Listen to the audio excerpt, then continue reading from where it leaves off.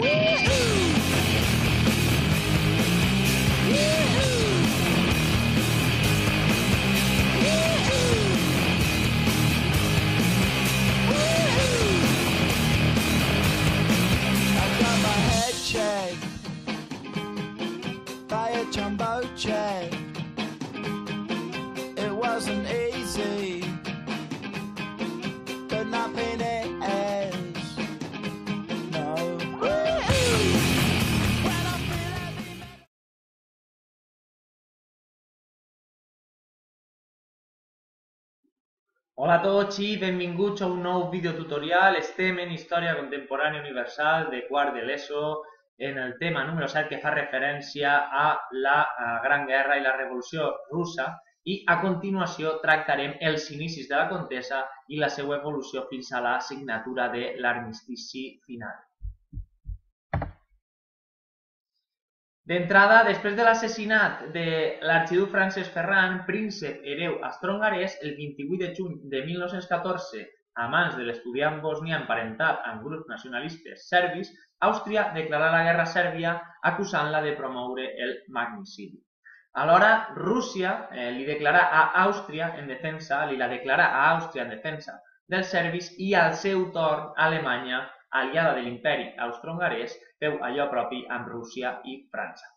Automàticament el Regne Unit li declarava a Alemanya i Àustria eh, la guerra, mentre que els alemanys ja envaïen Bèlgica, aliada de França.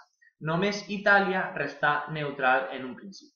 Doncs bé, aquest conflicte eh, per, que eh, pren el nom de Gran Guerra pel seu caràcter purament europeu, però que després s'estendrà a les colònies i comptarà amb la intervenció de potències extraeuropees com el Japó o la decisiva eh, entrada dels Estats Units, també se la coneix com Primera Guerra Mundial i que tingué el seu tret d'eixida amb aquest sistema d'aliances que funciona a la perfecció i s'engega com un precís sistema d'engranatges. Quant a la contesa, eh, aquesta cal dividir-la en tres grans períodes que tot seguit analitzem intensament. En primer lloc, eh, encetem el conflicte amb, amb allò que coneixem com la Guerra de Moviments. El front occidental s'obria amb l'entrada d'Alemanya a Bèlgica i Luxemburg en l'anomenat Pla Schieffelin. Eh, no obstant això, l'avanç alemany fou interceptat per les tropes britàniques i franceses a la batalla del Marne, al setembre de 1914. Al front oriental, a la batalla de Tannenberg, suposà eh, la derrota russa i l'estabilització de la frontera a Polònia, tal com podem observar en el propi mapa. Heus així quan els exèrcits i governs eh, se n'adonaren que aquesta contesa seria de llarga durada.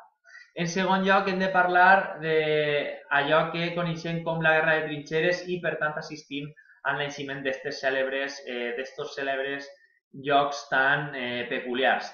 Després d'aquests moviments, el front, el front occidental eh, s'obrí eh, a través de quilòmetres i quilòmetres de passadissos excavats al terra, des de Suïssa fins a la Mar del Nord, motiu pel, qual podem advertir el que costava guanyar cada pam de terreny a l'enemic.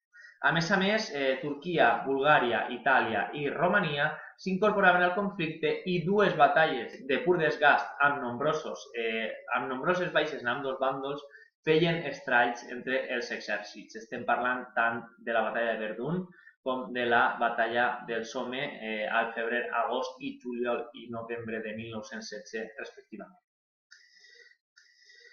En tercer i darrer lloc, eh, corroborem l'última de les etapes amb l'entrada dels Estats Units i el final eh, de la guerra. En primera instància hem de ressenyar que la recent nascuda Unió Soviètica abandonava el conflicte, eh, acte seguit a la signatura del Tractat de Brest-Litovsk, pel qual concedia bona part de les seues conquestes imperials a Alemanya i que a la pròpia Unió Soviètica li costà una autèntica guerra civil, Altrament, aquesta retirada fou compensada amb intervenció dels Estats Units, ja sabem, eh, sempre reticents a la immiscuïció en els afers europeus després de l'enfonsament del transatlàntic eh, lusitànic.